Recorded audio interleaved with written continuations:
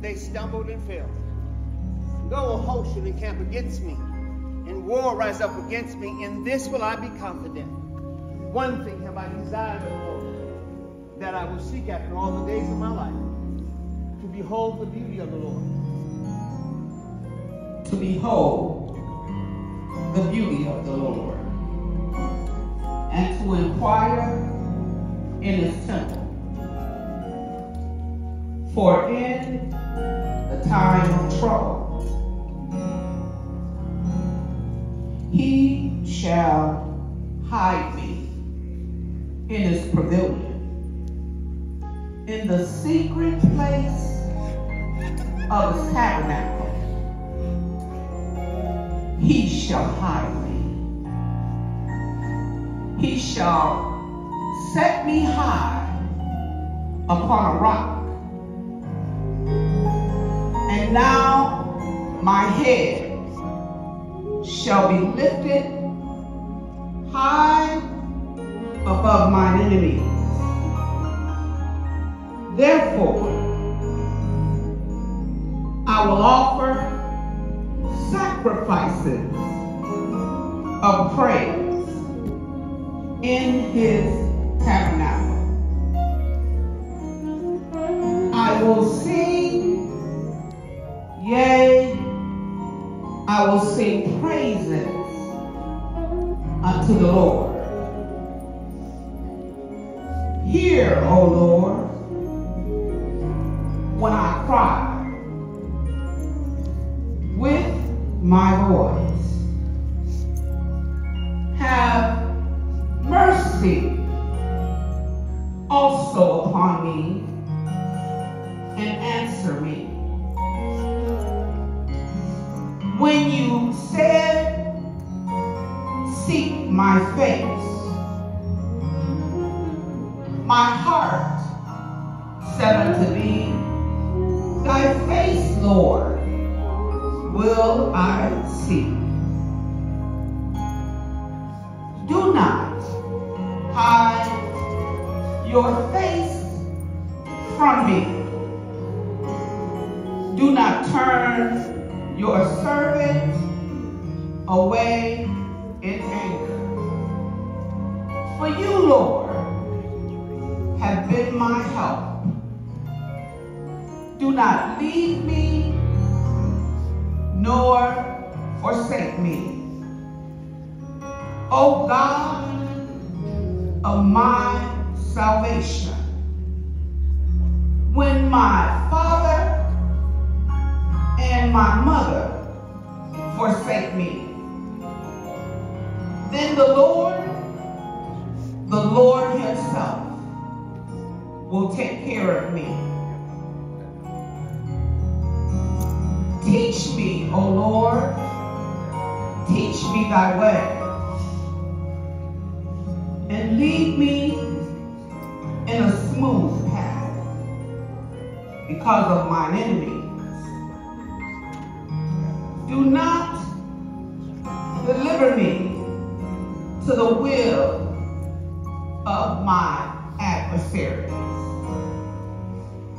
For false witnesses have risen against me, and such as breathe out violence.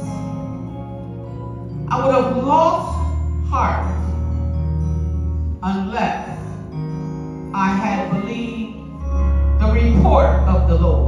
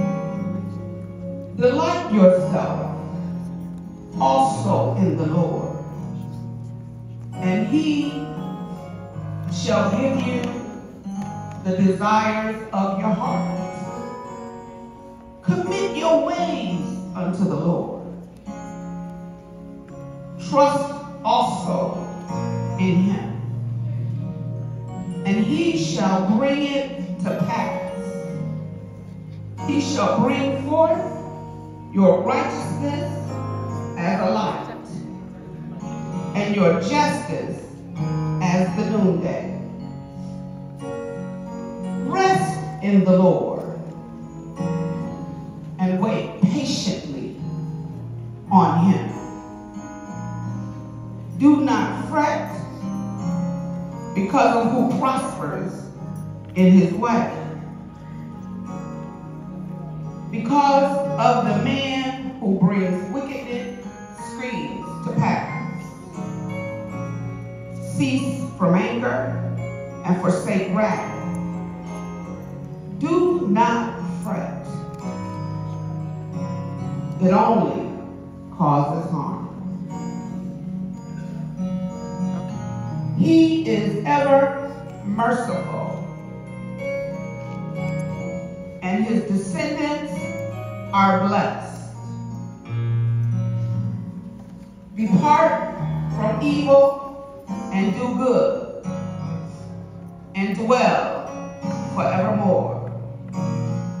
For the Lord loves justice and does not forsake his saints. They are preserved forever. But the descendants of the wicked shall be cut off. The righteous shall inherit the land and dwell in it forever. The mouth of the righteous speaks wisdom, and his tongue talks of justice. The law of his God is in his heart. None of his steps shall slide.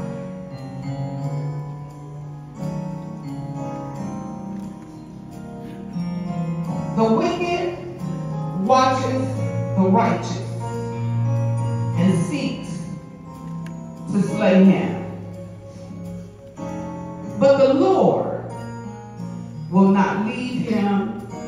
In his hand. When the wicked are cut off, you shall see it. I have seen the wicked in great power and spreading himself like a native green tree. Yet he passed away, and behold, he was no more.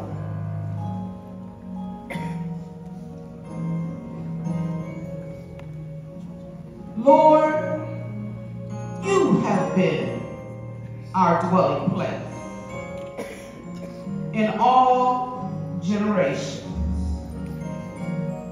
Before the mountains were brought forth, or ever you had formed the earth and the world, even from everlasting to everlasting, you are God. You turn man to destruction, and then you say, Return, O children of men, unto me. For a thousand years in your sight are like yesterday when it is past and like a watch in the night. You carry them away like a flood. They are like sleep in the morning. They are like grass which grows up. In the morning, it flourishes and grows up. But in the evening, it is cut down and it withers. For we have been consumed. And your wrath, we are terrified. You have set our iniquities before you our secret sins in the light of your countenance. For all our days have passed away in your wrath. We finish our years like a sign. The days of our lives are 70 years. And if by reason of strength they are 80 years. Yet their boast is only in labor and sorrow. For it is soon cut off, and we fly away. Who knows the power of the Lord? Fear of you, so is your wrath. So teach us, O Lord, teach us how to number our days. And the word of the Lord is already blessed. The scripture teaches that when a family member goes to be with the Lord, it's absent in the body, but present with the Lord. I would ask you to step out of your grief and step into your faith. Put your hands together and give Charlie Chuck a brand new Take it over to a place, to a place that's going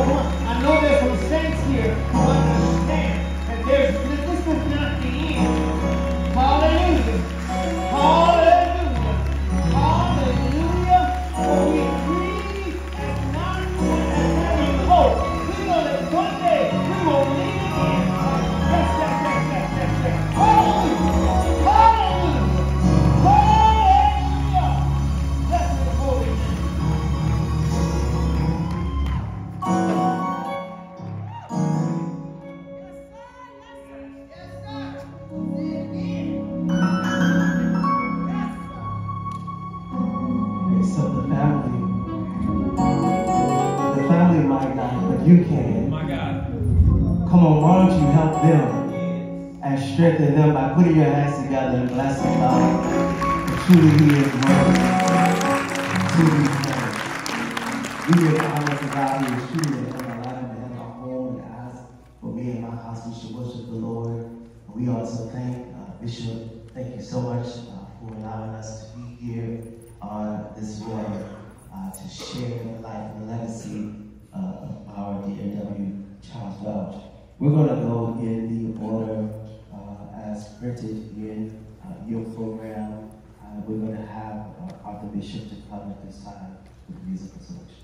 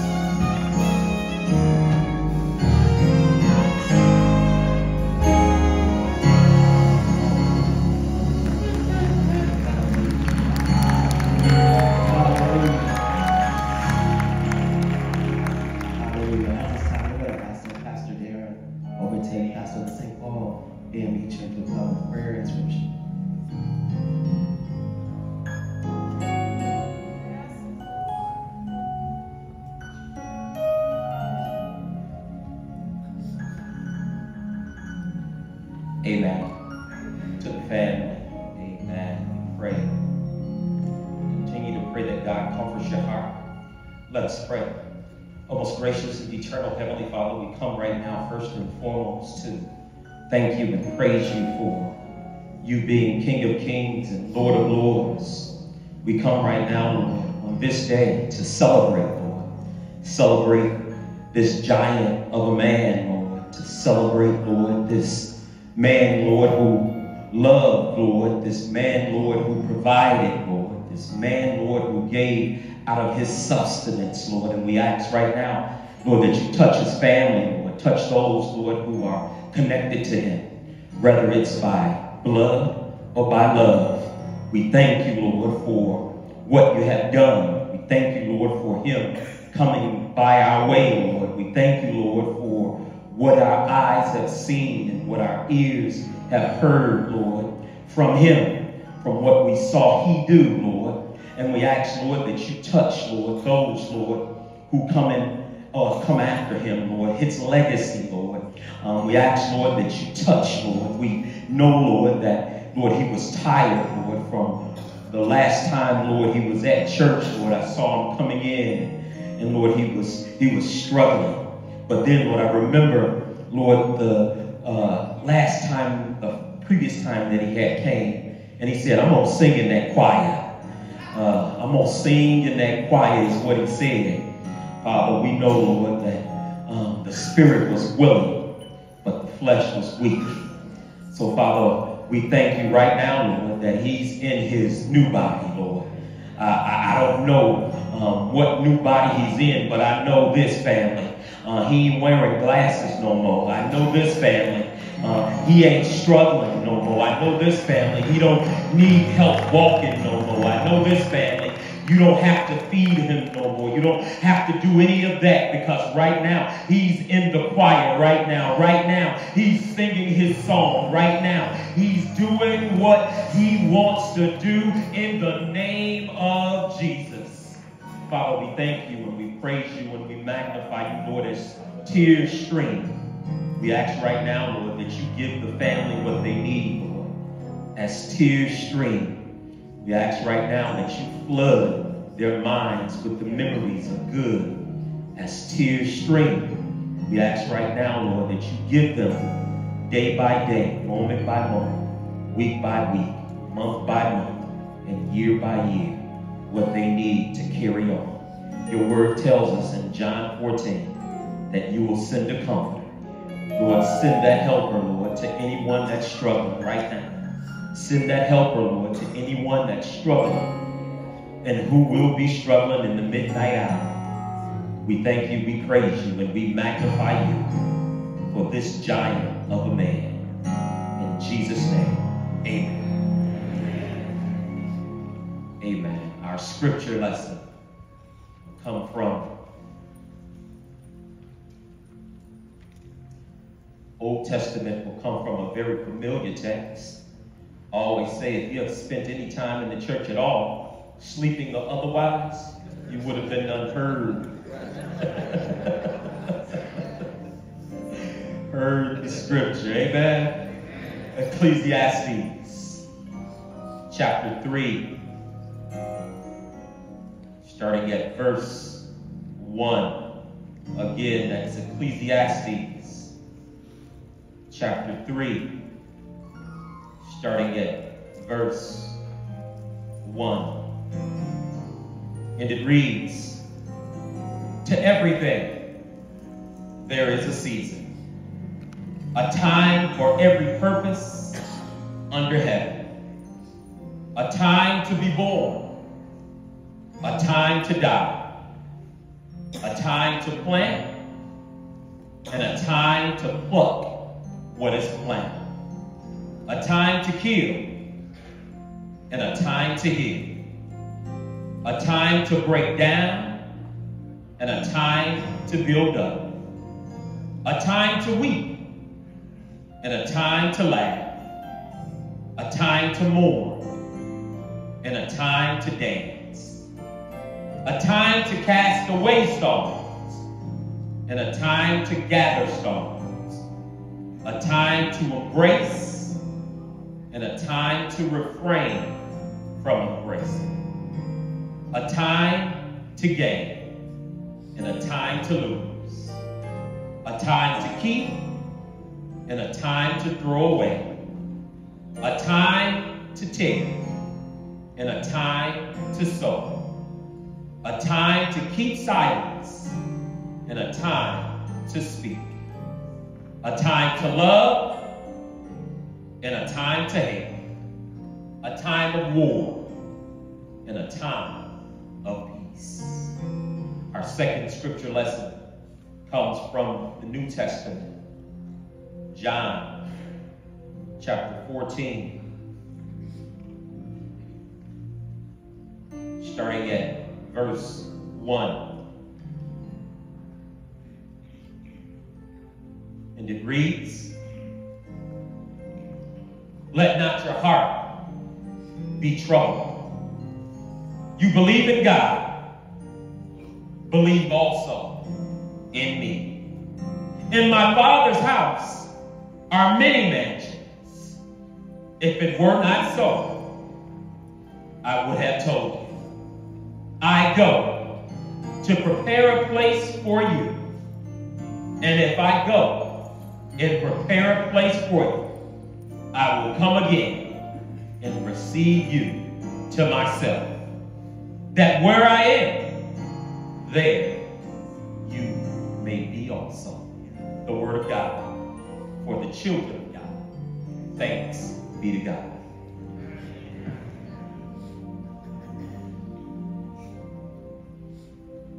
One thing you should know is that Charlie Chuck planned his own view.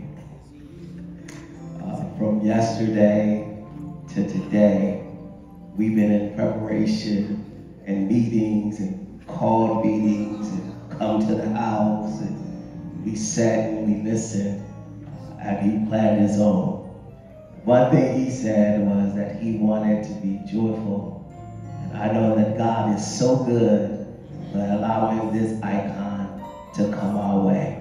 Say all that because we are blessed uh, to have a selection uh, that came from Bishop, uh, Brother Bishop, and now from Latanya Crawford, and she come in her own way. God bless you.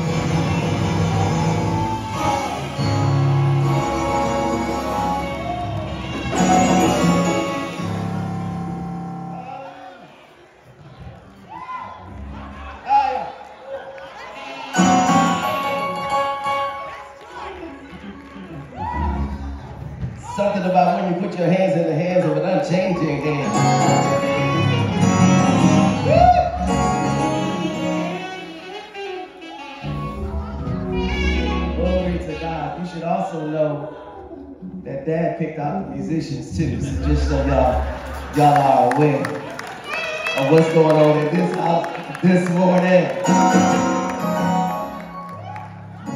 Glory to God in the highest. Glory to God at the highest. At this time, uh, we're going to have remarks that's going to come um, in this order. Uh, we're going to have Robert Sonny Welch come, after which uh, Larry Sykes will come, and then we will have the Juice family, all of the Juice family will come uh, up, and the representative will speak uh, for us. So, so in that order.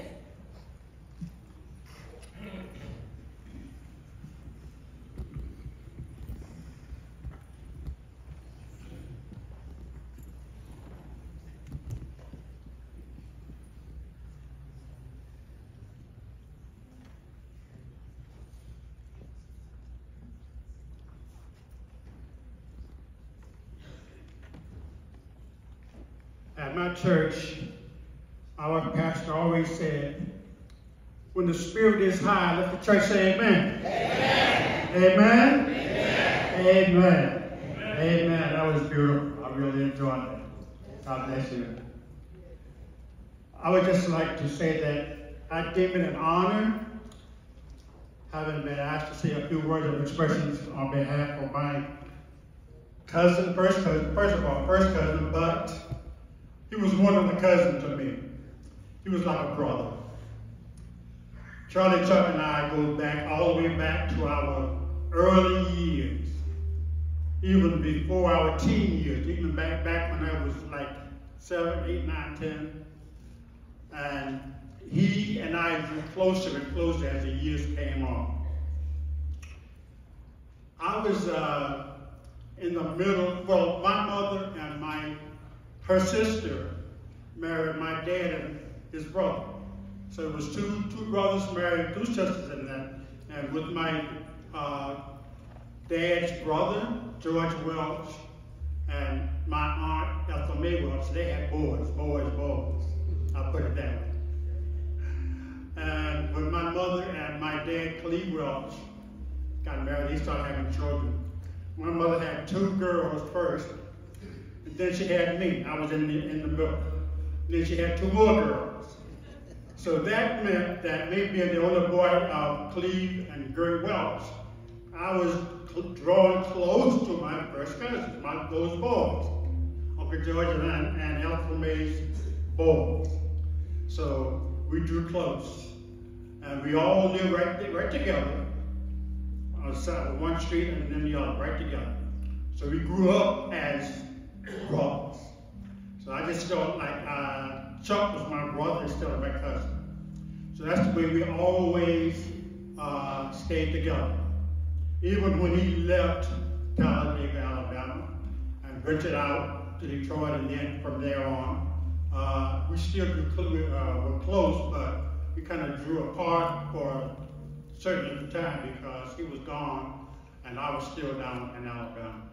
But I say all that to say this, that Chuck and I were closer, especially during the last, I would say 20, 25, 30 years, especially after we, the Welch family, had started having family reunions. And when we all came together, at first it started off every year, but then later on we changed every two years.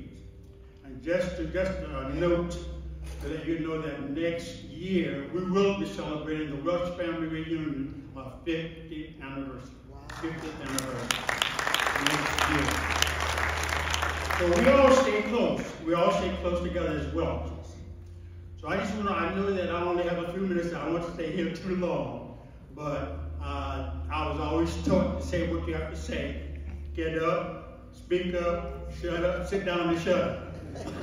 so that's what I plan on doing. I just want to draw your attention. On yesterday, uh, we had our I guess you call it viewing at uh, the other church. And the majority of Chuck's uh, work-related uh, buddies and uh, acquaintances, they all pretty much had what they had to say yesterday in reference to his uh, businesses, in reference to his uh, work-related uh, efforts and all of that. And one thing that I just want to take time out now to just to concentrate on is the uh, earliest, his, his earliest occupation. And that earliest occupation, as it was stated in yesterday's bulletin, was as a uh, golf caddy. He's, he, this was one of his first occupations as a golf caddy. And I was right there with them as a golf caddy also. So we grew up, the Welch boys grew up going to the golf course, the local golf course to caddy. That's how we all earned our spending money, our little chunk, chunk change, as some people would say. That's how we all kept a few pennies in our pockets. So uh, I just like, just like for you to concentrate on two words, uh, clubhouse. Clubhouse. We never called the local golf course the country club, the golf course. We always said the clubhouse.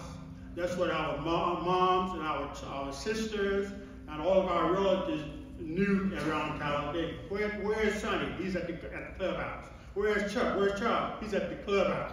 We all always at the clubhouse. That's how we learned to play golf. So I just want to call your attention to about the sixth page of your program. You'll see a picture of Charlie Chuck here.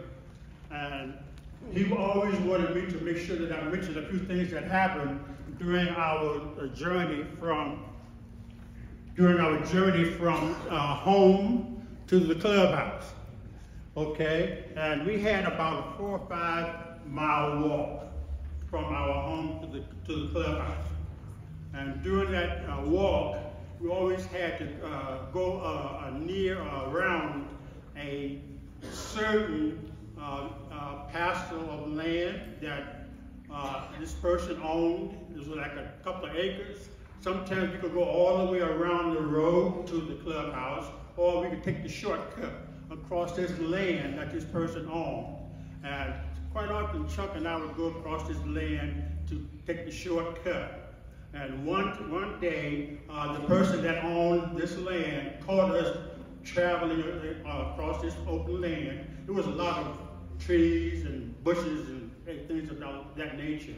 And a lot of trees and spruce trees and evergreen trees. And we go back in those days we called Christmas trees.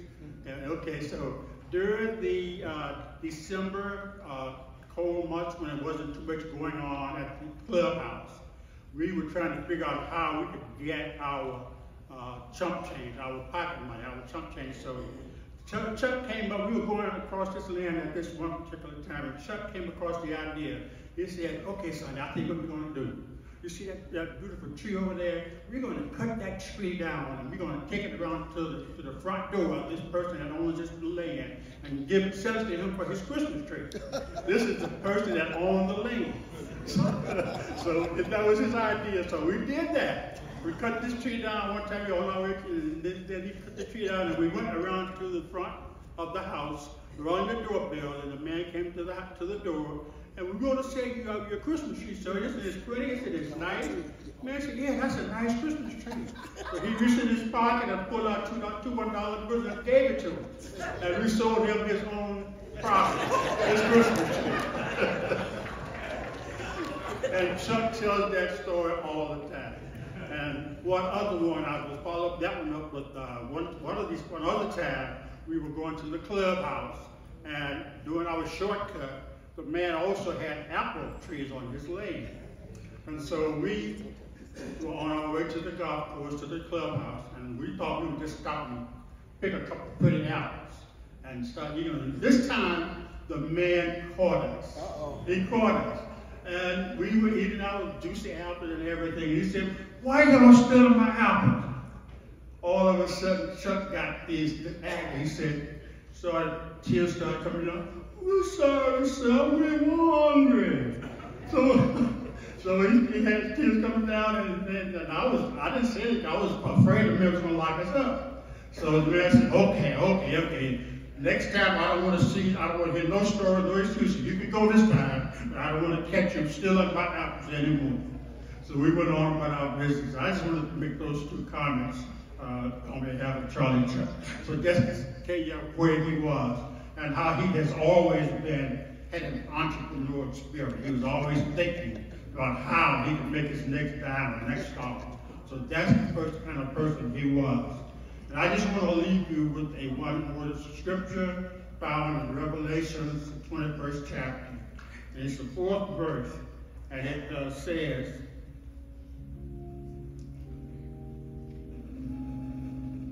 And God shall wipe away all tears from their eyes, and there shall be no more death, neither sorrow, nor crying, neither shall there be any more pain, for the former things are passed away. I would just like to leave that scripture and these words to the family. Charlie Chuck left us all an amazing legacy. So let's not grieve. Let us uh, continue on from here, realizing, recognizing the fact that Charlie Chuck was an amazing person. He left an amazing legacy to Bernard, my cousin. I just want to let you know, and the family, the Welch family, just always remember his legacy. That there is no need for us to cry or be uh, weary and well done. Let us remember that. He left us an amazing le legacy to follow him. God bless you. Thank you.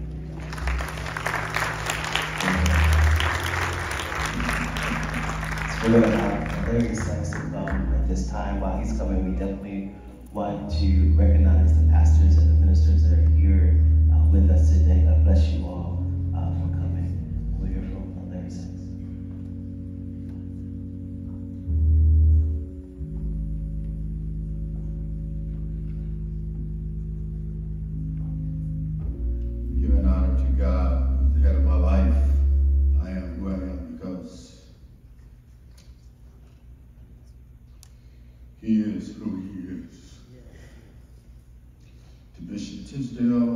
And clergy, may God bless you. Ladies and gentlemen, we're gathered here today to celebrate the life of a decent man, a decent father, a decent community leader, and a decent businessman, the legendary Charles Welch. I first met Mr. Welch when he came to Toledo to be a radio personality, which he excelled at as Charlie Chuck, the DJ. But Mr. Welch had higher aspirations, which led him to seek to purchase a license to own his own radio station, which was unheard of at that time. Unfortunately, Mr. Welch was turned down by numerous financial agencies for one reason or another. But the truth was, they didn't see or believe an African American owned radio station could be successful because at that time, only white stations were suc- successful here in Toledo. I also believe they wanted to keep him out of the business for other reasons. Mr. Welch and I had the opportunity to sit down and discuss his dream of owning his own radio station so that he could give the African American community a voice at the same time, leaving a legacy for his family. He believed that it was his responsibility to keep his family safe and his children, children safe.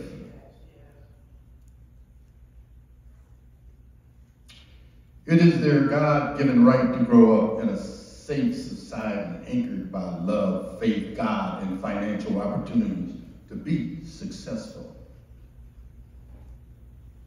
And that is what the radio station would provide for his family when he is gone, a legacy.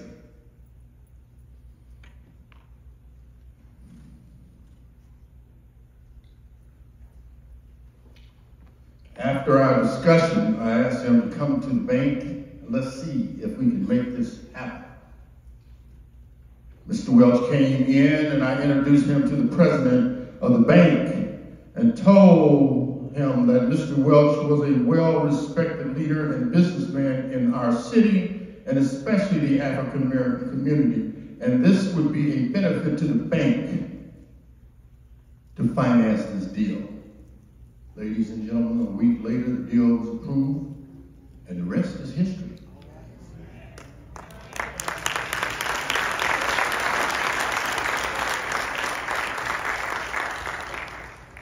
Five years ago, I was out cutting my grass.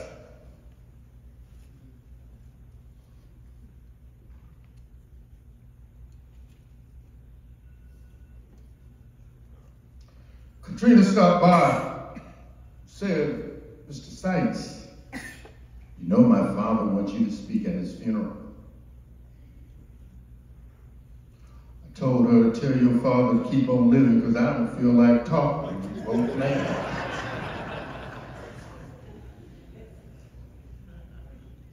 February, I was notified that Rosalind wanted, excuse me, February, I was notified that Rosalind Welch wanted to speak to me. And could I put a, please put a call into her? I said, sure. And put a call into her and told, I put a call into her. She told me that her father had been asking about me and wanted to speak with me. She told me the best time to call him was between 6 and 7.30 p.m. The next day, I followed up with a call to Mr. Welch.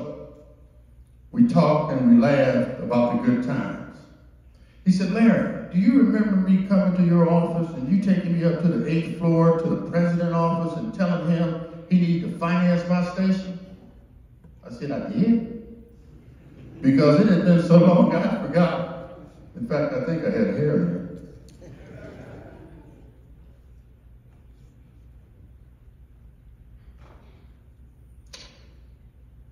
I said,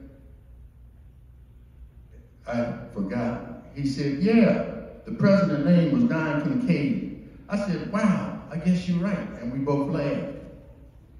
Last time I called Mr. Welch, he was taking communion, communion and we didn't speak long. Rosalind took the phone and said that he can't talk right now. I told her that I was being released early and not to tell your father, let's surprise him.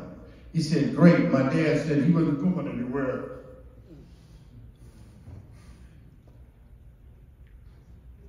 Until you come home.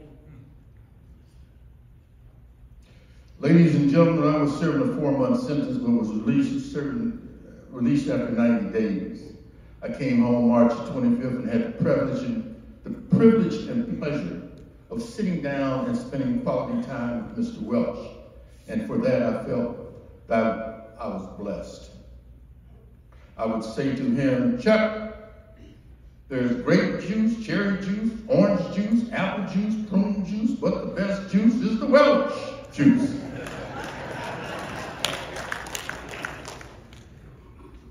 to the family. Those we love don't go away. They walk beside us every day, unseen, unheard, but always near. Still loved, still missed, and still highly respected. The ones we love and do lives on through their deeds, through their knowledge they leave behind, and what and when we speak and think of them. But we have to continue to live our lives so that we can keep them alive. Count your blessings so that you may bless others family. God has a purpose for your pain, a reason for your struggle, and a reward for your faithfulness. So don't give up. Continue to be faithful and grateful. Family, only your pillow knows the number of tears you cry. Only God knows the pain and sorrow you harbor inside. But I submit to you that if you put your faith in the man that walked the water,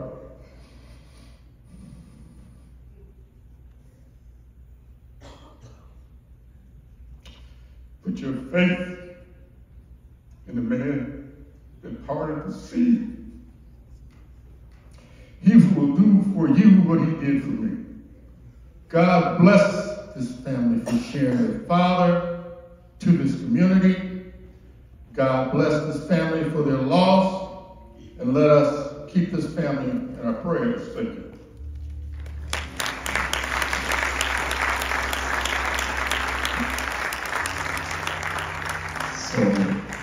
Larry, I was actually there serving communion.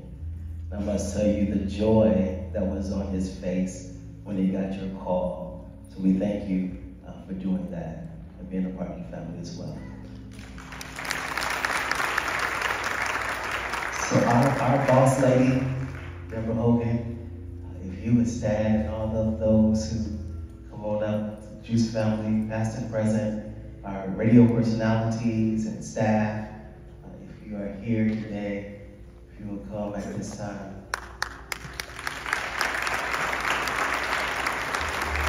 All staff and now to past and present.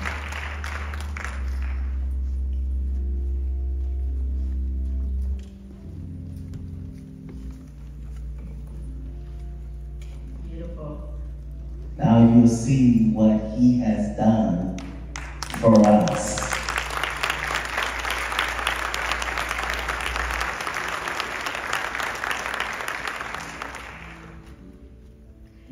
So Charlie Chuck was a visionary and an icon, and we are so blessed to be part of this vision that has shaped the essence of this community.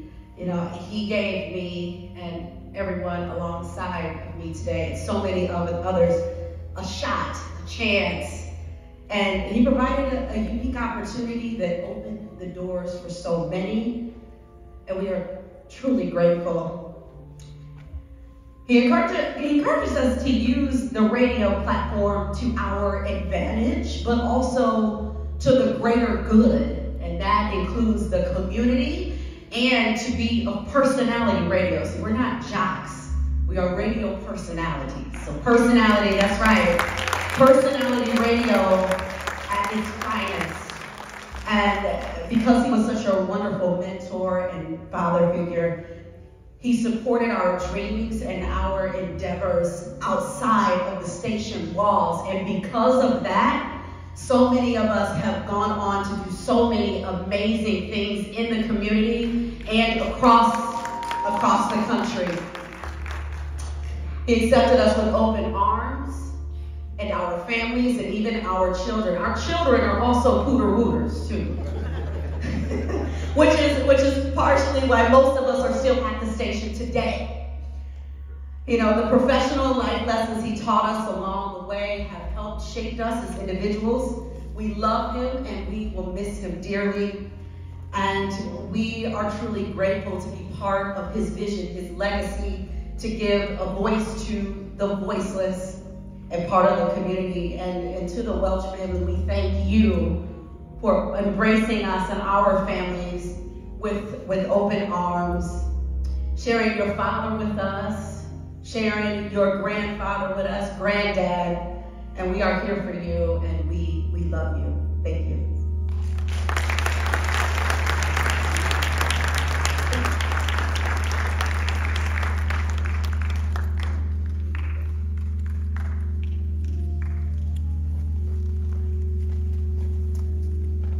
So Mr. Welch taught us how to, to walk into uh, to the building because um, he taught us that we had to to walk in and make sure we was watching our back before we actually went into the building uh, and locked the door behind us.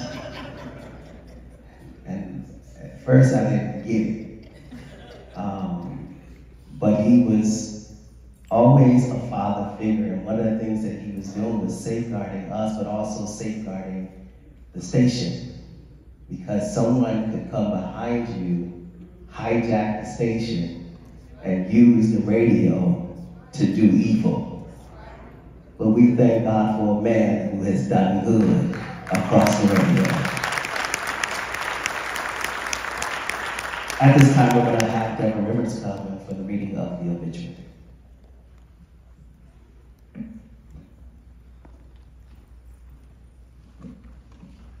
I don't think this notice for me. It says you have two minutes, please.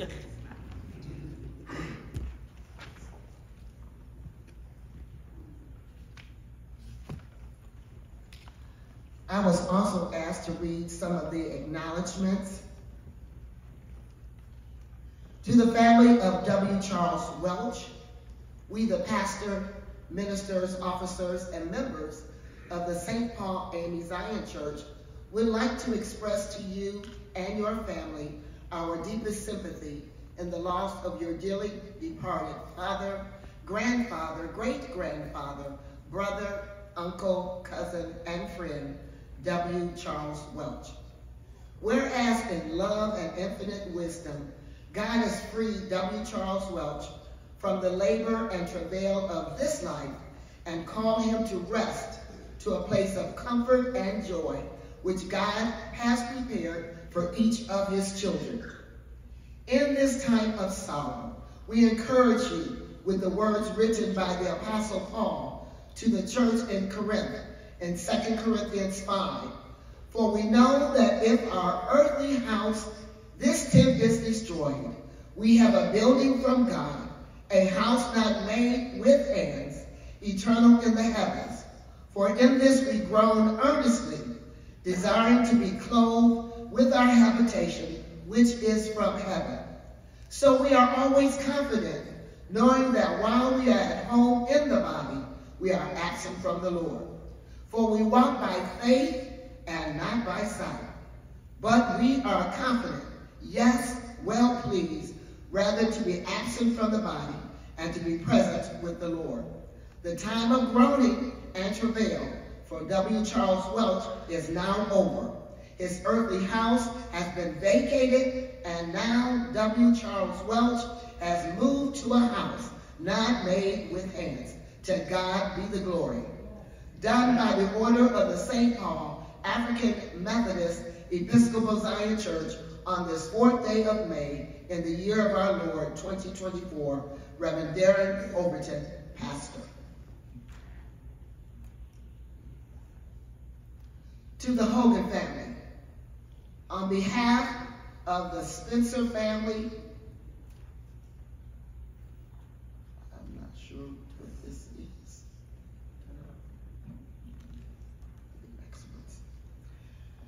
There were so many, uh, so many expressions of sympathy. We will just read who they are from. From Solid Rock Church, Dr. Willie C. Howard Garrett, Senior Pastor.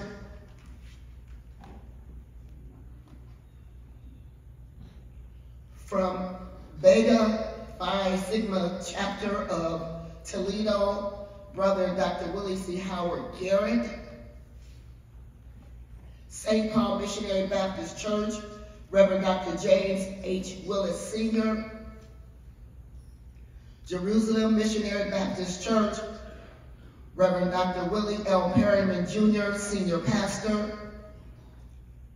From the Trustee Board, the Lay Council of the St. Paul AME Zion Church,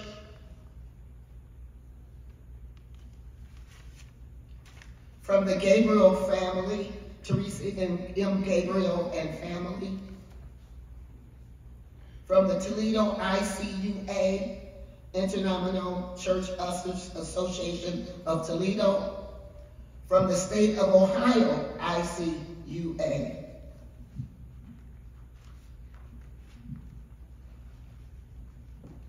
We also have a resolution from the Lucas County Recording Office, Michael D. Ashford, Lucas County Recorder. I'm sure the family is going to acknowledge all of these at a later date. It was stated earlier that Mr. Welch planned his own funeral. It was less than two weeks ago. I was at a service and Deborah came to me as I was leaving. She said, Dad wants you to read his obituary at his funeral. And I said, I said, Deborah. She said, no, he wants you to do that. I said, I will do whatever Mr. Welch wants me to do. So it is an honor for me to be here on this morning to uh, be in this service and want the family to know how much we love you and how we are praying for you. So here is the obituary, pre-written by W. Charles Welch. I didn't want this to be the typical funeral that we have been going to. So I borrowed this idea from my cousin Beverly Welch back in 2021. I will thank her when I see her up there. So here we go. I was the fifth son born on November 8, 1938 in Talladega, Alabama, between George and May Welch. Out of nine of us boys, I was the middle one, four older and four younger. Let me name my other siblings, starting with the oldest. Dan Edward, George Calvin, James Harvey, Jimmy Earl. My poor mother was having children so fast, she named one James and the next one Jimmy. Number five son she named Willie Charles. Now you know what that W stands for. I had Willie changed legally to just W. Charles. Number six was Benny Leon, Richard Dale, Milton Lamar, and baby brother Carter Wayne. Wayne is the last living out of nine boys. We have two sisters, Janice Denise in Talladega by my mother, and Rose Nell in Detroit by my father after they split up. There was no work in Talladega, and mother didn't want to leave her mother, my grandmother, in Talladega. There was nothing to do in Talladega for adults but work in the fields and make moonshine and go to church. Me and my brothers and male cousins worked at the golf course as caddies. All of the Welch men and boys could play a good game of golf and earned enough money to buy snacks and pay 15 cents to get into the movies. When not playing with the boys, you would find me working in my granddaddy's pawpaw store, Welch's Grocery, which was next door to our house. We were very poor people living in Talladega. There were times I would see our mother go to the banks of the railroad track where where wild onions would grow, bringing the wild onions back to the house and cook them for supper, along with whatever she could gather up to go along with the stove-top cornbread. Other times, we would wake up at 8 o'clock on Sunday for grits, eggs, bacon, and ham, fried chicken, etc. That was breakfast and brunch. Come home in the evening for supper with hot roast, potatoes, greens, and other food from our garden. There were all of us boys on mama's side, and most of the girls on Aunt Gert's side. I forgot to tell you, we were double cousins. Two brothers, George and Cleve, married two sisters, Ella Mae and Gertrude Carter. This part is submitted by the family. At the age of 12, he moved to Detroit, Michigan to be with his father. He joined Greater St. Peter AME Zion Church, where his dad attended. His dad spoke with, to him about the Chester family, a nice family at the church he should connect with. He then met Marjorie Chester at choir rehearsal. They became sweethearts at the age of 13 and 14. When Marjorie turned 16, they were pre-engaged. Charles joined the United States Army at age 17, serving his country in Germany. Charles and Marjorie married and went on to have four children, Rosalind, Katrina, Deborah, and Charles Bernard, along with Chuck's youngest daughter, Trina. Mr. Welch has a long list of jobs and businesses, including jobs as a golf caddy in Alabama, worker at Dodge, Main, selling Kirby vacuums, teaching driver's education, car salesman at Grogan Town, WKLR, the Ohio Lottery Commission, Barden Cable in Detroit, Fox 36, KCOH in Houston, Texas, WVOI in Toledo, main pianist at nightclubs in Detroit, owning the Pantheon Theater, Pantheon Records, a church's chicken franchise, and part owner of a nightclub in Detroit called the Cherry Garden and a recording artist. Mr. Welch started his career in radio in the 1960s, working for free at WJLB. He was encouraged by WJLB's infamous DJ Kern, Master Blaster Bell, that their sister station in Toledo was hiring. He got the job in Toledo radio, working at WKLR in 1969. His radio name is Charlie Chuck. In 1997, Mr. Welch started the Juice FM 107.3 WJUC and entered the history books by becoming the first African American in Ohio to start a radio station from the ground up. Mr. Welch received numerous awards and accolades throughout his 56 years in Toledo. Thank you. Charles was pre predeceased in his, in his death by Queen Marjorie Chester Welch, parents Ethel May and George Welch, Sr., granddaughter Cindy Lynn, and seven brothers. He is survived by his daughter Rosalind Welch, Katrina Welch Andre, Deborah Lynn Hogan Richard, Trina Lyons Bishop Arthur, and son Charles B. Sisters Janice Brasher, Rose Nell Luke, baby brother Carter Wayne Welch, and four sisters-in-law. He also leaves behind 18 grandchildren, seven great-grandchildren, and two more on the way, and so many others that he looked upon as his children and family. To God be the glory.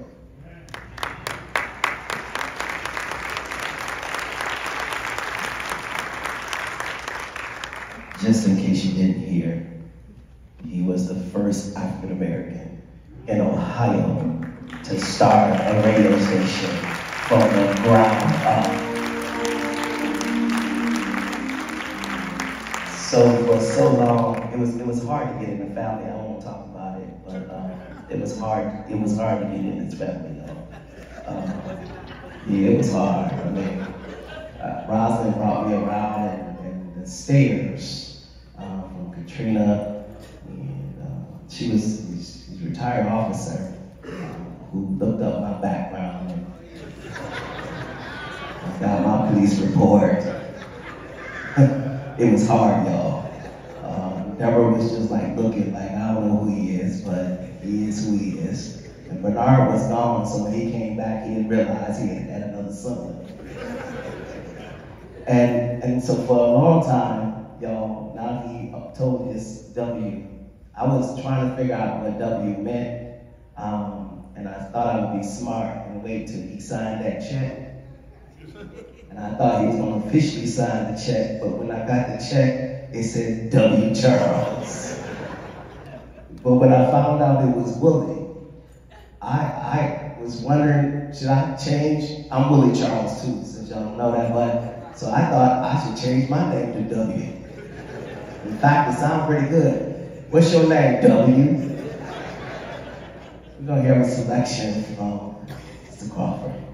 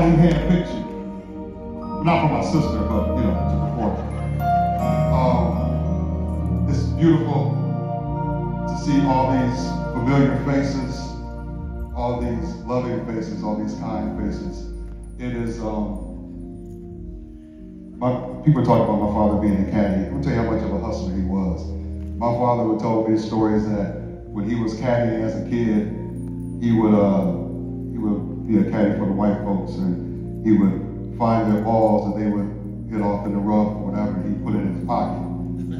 And then after 18, he would sell them back their balls that they lost.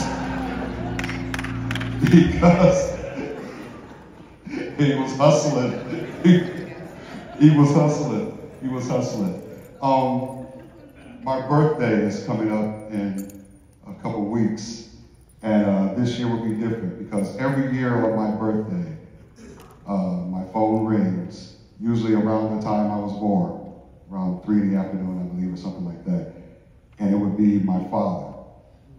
And he would call me on that birthday, on that time, and not to say something like, you know, I love you. It wasn't, no, he didn't say I love you or anything like that. That wasn't what he was calling for. He was calling to tell me, he would, the conversation would go something like, you know, such and such years ago at this time, I was expecting that doctor I was gonna kill him.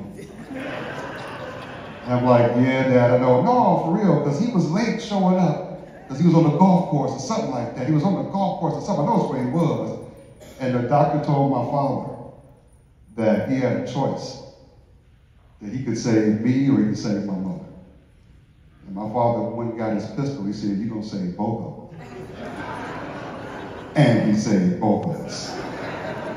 That was my father taking care of the ones he loved at all costs, no matter what. And um, it's hard because they said my father's been planning this, this funeral for years. And uh, he asked me to do his eulogy years ago. And I wrote it last night, well, this morning. So that goes to show you. But when he tells you to do something, uh, you can't begin to understand the weight that it puts on you. And you don't think it's ever going to come. But one day it does come. And you have to put into words what this man who has been your hero, literally your hero, means to you. And everyone is aware of all the things that Charlie Chuck has done, the parties, the concerts, uh, the radio events, but do you really know W. Charles Welch? Or what the W stands for? Some of y'all just found that out today. How do you speak about a boy who came from rural Talladega, Alabama in the 1930s? Alabama in the 1930s and what he was brought into. How do you talk about a man who's last, who lost his parents, his siblings, his grandchild, his dear friends, and the love of his life, but he kept on believing and kept on living? I can't. How am I supposed to tell you about a man that joined the military, went all the way to Germany and fought for a country that didn't love him when he got back?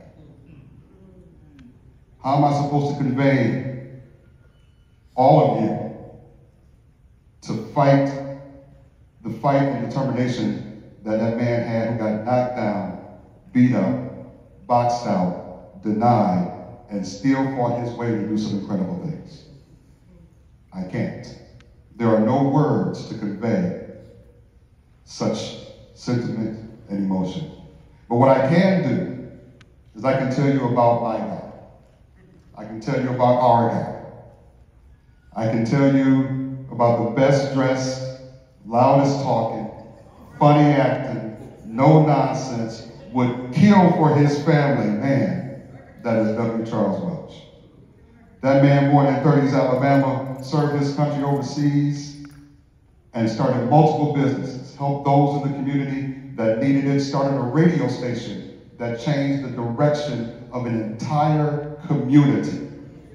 That radio station changed the direction of an entire community, a community that he was not even born into, but he adopted as his own. And how can I also tell you about a man that took care of his family and most of all loved God?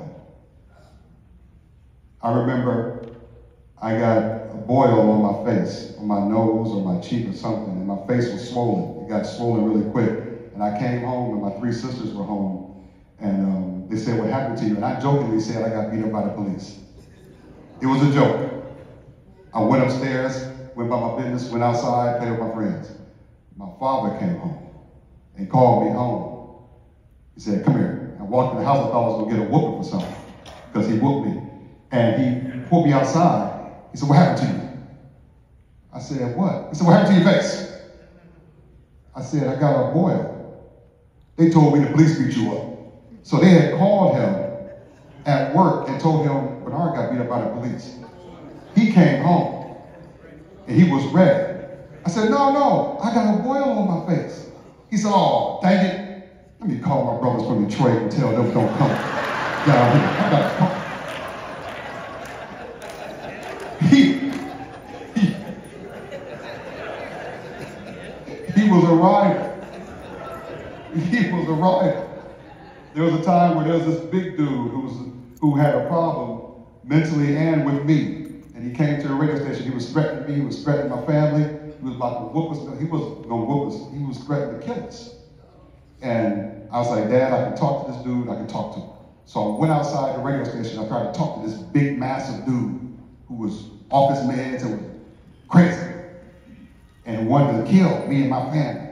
And I'm talking to him, and couldn't get, really get away from him and get away from him, and he was he was nodding back and forth. And I happened to look over his shoulder, and I looked, and one of the doors in the corner of the radio station was propped open, and I saw my daddy's face and the barrel of his gun. And I was like, I hope he a good shot. Because we're standing real close to each other, and I don't want him to, I don't want him to pick me off, you know. But at the same time, that same father who was allowed me, he would hold his hand up like this, and I would hang on his bicep. I would swing on his bicep. That's how strong he was, or how little I was. I don't know. And the same man who whooped me in a circle, I hold my left hand up and whoop me with his right. My sons were playing golf with them as kids, and they, my one son hit a ball, and it hit his new car. And my father said, "That's okay." Who are you? Who, was that man who said that's okay that you can hit his car with a golf ball? So I just want to point out again that the man I grew up with is not the, my kids, and that's not the same granddaddy as Charles. It's not the same one. But he's also the same man who wouldn't let his family travel on the same plane because he didn't want us all to get wiped out if something happened. He wanted the legacy to live on no matter what. And he believed in that legacy. And he left his impact on the world. He came in and he did what he did. And he left the world a better place. And when it started making me think, is what I came up with this morning, he was, you couldn't put him in a box. You couldn't put him in a mold. He would adapt to whatever situation it called for. He was a, he would sing in the church choir. He would he would be charitable to you. And if he had to, he would cuss you out and threaten you for messing with his family. And when I say family, I don't mean just blood. All those people who were standing up there for that radio station, they're all his children. And it, he reminded me that he was kind of like water. And I wrote some things down. It's like when a wave is in the ocean, it's clear what it is. You can see the height, you can see the, the light reflect off of it, you can see its speed. You, you may be able to predict where the wave is going to hit the shore. But what you can't predict is the mark that it will leave once it arrives. The wave might carry life with it. It may leave it on the shore. It might use itself to, to water and nurture the life that's already a part of the landscape. A large wave could even crash against the sand, and as it returns back to the sea, it can pull away all the trash and debris and even the things that seemed important and permanent and leave behind a clean landscape without some of the obstacles that would have normally been in the way. It leaves behind a shore that is perfectly pristine. But it's also a shore that is waiting for you to put your footprints in it. Make your own mark. The wave has moved things out of your way now that it is now it's your turn to walk your path across the beach. But the wave, well, the wave must return back to the ocean. Because at its very core, it is just water. For a moment in time, it pushed by the very place where it was originated and was used to make a change in the land, but it's only temporary. Whether subtle or impactful, the wave did the job. Just like my father. My father was just like that wave. He came crashing upon the shoreline of life and made a difference. He brought life. He cleaned up the landscape. And he left things better than they were when he got here. But he was also like water in its other forms, like the glaciers in the Arctic. He was steadfast in his journey, moving slow, moving steady, with great power and force. Like those huge chunks of ice, what you see is only a small part of who he was. Because the greatest part of that man, my father, lied beneath the surface, providing strength and stability for us all. And now he's like that steam. After doing all the things and all the forms, making all the changes to everything and everyone around, he's now like that steam rising to the heavens and leaving behind a beautiful rainbow as a reminder that he was here. I saw him shed a tear twice my entire life. When my mother passed and when he held his great granddaughter. As we place him in his final resting place, with all of his, with his granddaughter near his feet and his beloved wife Marjorie at his side, we should all be reminded that our story isn't over until it's over. Our story is ever changing, ever growing, ever evolving. And most of all, it is a story that is written by our Creator, and no man can put his pen to those papers. No man can change a thing, no man can put his spin on it. God wrote this man's story. God put his mighty pen in action and watched it play out. Magnificently, it played out. God wrote this glorious story of trials, this glorious story of tests, this glorious story of triumphs, this glorious story of missteps and of great strides. This God wrote my father's glorious story of change, the glorious story of growth, the story of determination in the face of denial, this glorious story of pride and joy. God wrote this glorious story of fight and strength and the story of love. So with that we say, well done, good and faithful servant. Well done, W. Charles Welch. Well done, Charlie Chuck.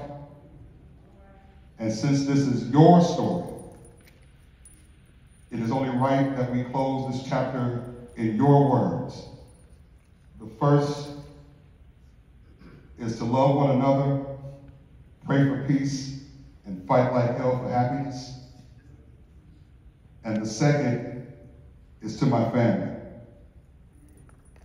Our father, our grandfather, our father-in-law, our uncle, our cousin, our great grandfather. He left us with a perfect example of how to live. He left us with a perfect example of how to behave. Our God left us with every single thing we need to survive in life. It's already in us. We got it from him, and it's in us. It's just up to us to carry over. So with that, I'd like to say thank you all for coming. But most importantly, thank God for my father, W. Charles Welch.